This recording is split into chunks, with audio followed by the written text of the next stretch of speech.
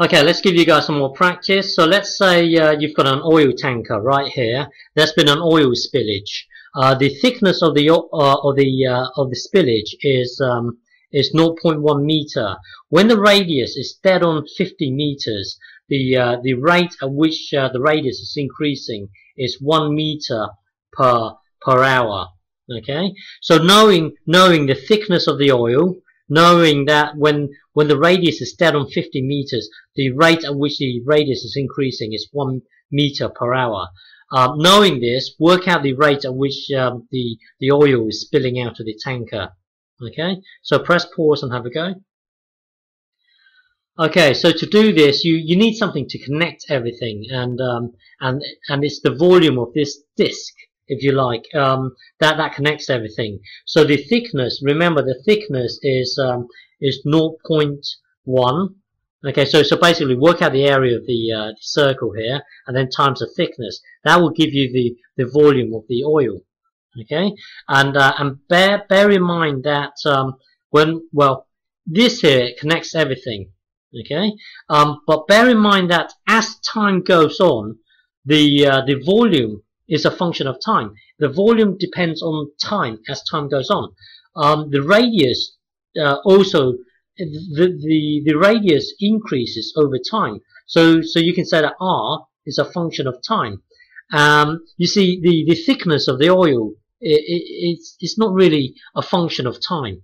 Um, pi is not a function of time. The only thing that's a function of time is is the volume and the radius. So from here, this is a thing that connects everything. Use implicit differentiation, that would take you to here. So this, so so when you when you come to differentiate this, this will that this will give you dv by dt, and then when you come to differentiate it with respect to time, uh, this thing here goes down, so that that will give you this. Um, this here is a constant, and don't forget r is a function of time. So, uh, so you, you, you would differentiate this as normal, but then because r is a function of time, you've got to stick dr by dt. Okay, so that will then take you to this, and now, now, uh, when when you're here, um, when you're here, at this precise moment in time, when the radius is 50 meters, the rate at which is the, the rate at which the radius is increasing is one meter per hour.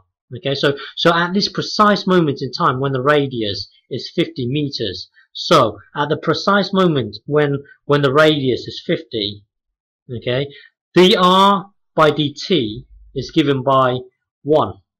Okay, and um, and well, this is a constant, a constant. So so when when you get to this stage here, um, at the precise at, at the precise moment in time when when the radius is 50 meters, um, dr by dt is is given to us as one. Okay, so so we can stick in the radius, which is 50 meters, at, at that precise moment in time, and then at that precise moment in time, dr by dt is one.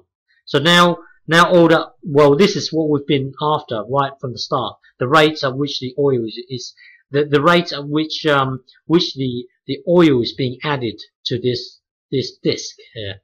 Okay, we well we were after dv by dt all, all, all along. Okay, so we were after this. So, hang on. So that will give you um, dv by dt equals this. Um, so so so the, the, the rate at which the oil is being spilled is is given by this. Okay.